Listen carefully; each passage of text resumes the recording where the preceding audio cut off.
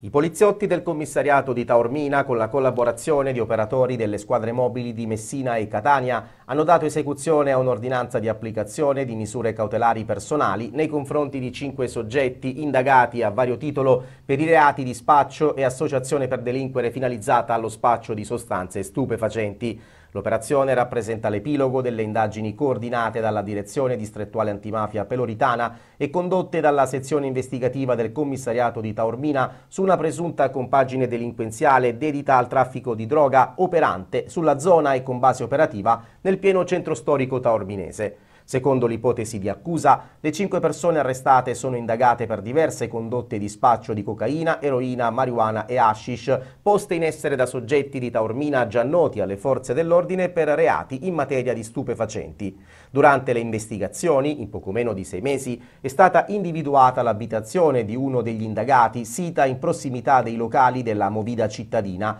all'interno della quale i clienti, secondo quanto sin qui è emerso, potevano consumare lo stupefacente. È stato inoltre identificato un soggetto catanese quale presunto canale di rifornimento dell'organizzazione. Sulla scorta del quadro indiziario così raccolto, il giudice per le indagini preliminari, su richiesta della Procura della Repubblica presso il Tribunale di Messina, direzione distrettuale antimafia, ha applicato la misura cautelare della custodia in carcere per quattro indagati e quella dell'obbligo di dimora per il quinto.